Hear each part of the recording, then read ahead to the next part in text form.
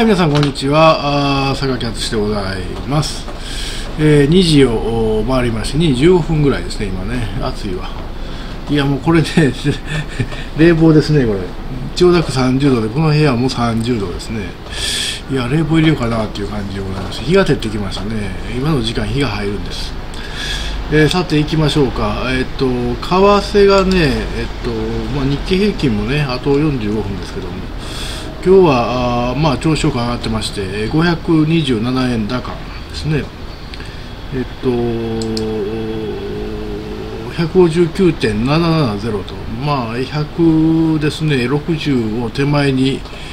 とど、まってるという感じですね、なんか今日は PC の調子が、PC の PC 最近調子悪いね、えー出ませんけどね。暑いわほんまに。暑いと PC も関係あるんですかね。えっと隣行きま隣もう行かへん動かへんねえっとね日本は160円、1ドル160円ぐらいまで行きますとですね、為替介入がありそうです。で、お隣は今、1388ウォンなんですね。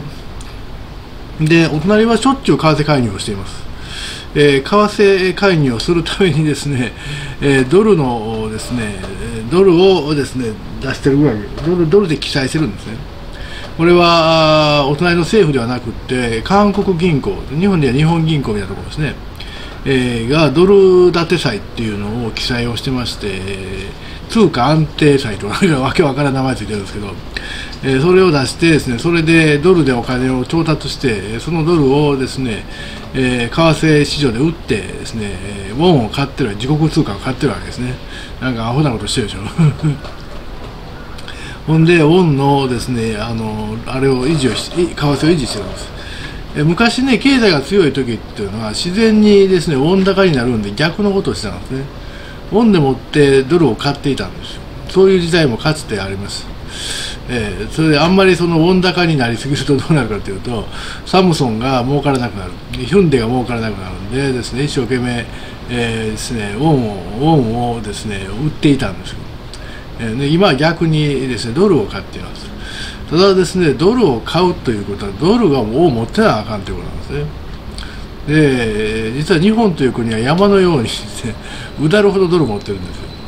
で為替介入するときは安いときに買ったドルですね、えーまあ100円とか120円とかで買ったドルがまだあるんですね日本には。それを150円で売ってるわけですから159円で売ってるわけですからもうもうもん儲かってしゃあないわけですよ、えーなんとかしてえなそれと思うんですけど。でお隣はですねあのそんなにドルを持っていないですね。だからですねドル借りたドルでですね一生懸命自国自国通貨のウォンを買ってるわけですね、えーアホみたいなことでございますよ。そうするといつかはですね、ドルがなくなってしまう可能性があるんです別にあの買うばっかりじゃなくて調子いい時には売ってるんですよ。であの手持ちのドルを持つようにして持つようにしてでそれで為替介入をしてるんです。で彼らの防御ラインは一応1400なんですね。でここのところドルが強いんです。えーなぜ強いかと言いますとですねユーロが利下げをしたんですね。一月ぐらい前でしたっけ、えーユーロが利下げをしましてですね、えー利下げをするとその通貨弱くなるんですね。利上げをすると強くなる。当たり前ですよ。あのドルで持って運用した方がユーロで持って運用するよりも利回りがいいわけです。利があの金利が高いということ。だからみんなユーロを売ってドルを買うようになると、まあ、それが世界的な流れになってみんなドルを買うようになるんで,、えーですドルが高くなる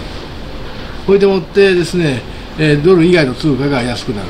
だから円もその流れにあるんでですね今160に迫るところに来ているわけですね、えー出ましたね。159.764というふうに来てます。さて、えー日本はねこれ160になったりしました。160でですね為替介入とかしてました。でもですねウォンはですね1400というラインがあって、まあ、これを超えたことあるんですよ。2022年には超えてます。えーあるんですけどもですねあの恒常的にこの1400を超えるとですね色々と困ることが出てくるわけですね。あの韓国ただでさえですねインフレに苦しんでいます。インフレに苦しんでいるのにですねウォンが安くなるとさらにですねインフレが進むわけですね。えそうするとですね、あの個人の生活困窮者が増えるというそういう図式でございまして。あの一応防衛ラインを私は1400あたりだろうとまあ見てるんですね、えー、でそれを超えるとですね非常にこの韓国経済が苦しくなってきてですね。なぜ日本も韓国も同じなんですよ。資源がほとんどないんです。資源がほとんどないんでですねあらゆるもの全部海外から買ってるんです海外から買う時の決済通貨はドルなんです。でだからドルを稼がなあかんわけです。でドルをなんで稼いでるかっていうとですね輸出で稼いでるわけです、えー、韓国の主要な輸出品はサムソンと SK ハイニックスのですねメモリー半導体や液晶パネルとヒュンデのです、ね、自動車なわけですね。まあ日本も 日本はねもういろいろです。まあトヨタやホンダがね車に輸出してますけどどちらかと現地生産の方が最近は多くなったわけです。物を直接輸出するというよりもですね海外に投資したお金がですねお金をまた増やしてそれが日本に還流してくるねみたいなですね。まあ金持ち国家になってるんです日本はね一見ね。で、えー、ドルで入ってくる銭がですねこれが1ドル160円で化けるわけですからそれはですね海外に資産を持ってる企業はうっはうっはと儲かってるわけです。代表例がトヨタですね、えー、なんでですねあの日本経済って、まあ、160円になっても、まあ、170円になっても200円ぐらいまでやったらなんとかふうって言いながら高いなとか言いながらやっていけるかもしれません、えー、まあ160より超えては欲しくないですけどね、えー、でも韓国経済って1400を超えてですね1500とか600とかいってしまうとほぼパンクしますね。えー、あのどうなるかというとですね国内で今でも多い個人破産。やですね今度は企業の倒産というワンワン増えてきます。でまあぐっちゃぐちゃに経済が混乱するんちゃうかと思います。まあ、ただ韓国という国はね、一応形の上では、形の上では、まあ、まあ、ほまあ、まあ、まあ、民主主義の社会なんで、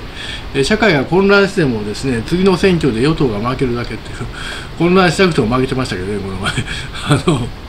あの混乱してもですね、政権が交代したりとか、そういうことをするだけで、昔みたいにね、あの、軍隊がクーデターを起こしたりしません。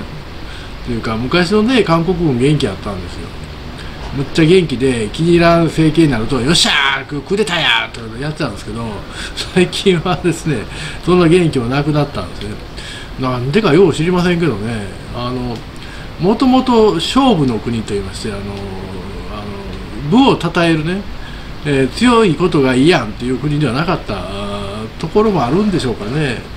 日本は戦争負けるまでは勝負の国といいましてあのいわゆる軍事力や武力を称える国であって軍人さんは偉いということになってたんだけど韓国はもうそもそもなんていうかこう軍人さんが偉いというですねそういう価値観の国ではないんですね、まあ、中国もそうですけど、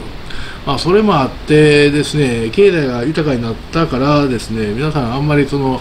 軍隊というものをですねあんまり称えなくなったんでしょうかね。よう分かりませんけどとりあえず軍部今は弱い。とってもやないけどクーデターなんかできません。えだからどうなんの？って言うと分かりません。あの社会がぐっちゃぐちゃに混乱するということは一つ言えるでしょうね。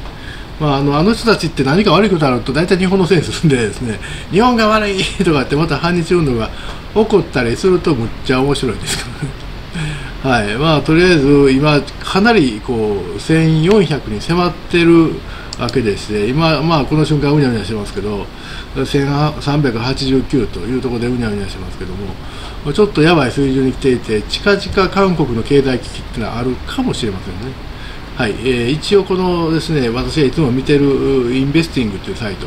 ドルウォンレートですね。そこのサイトを一応貼っておきますね。はい皆さんどうもありがとうございました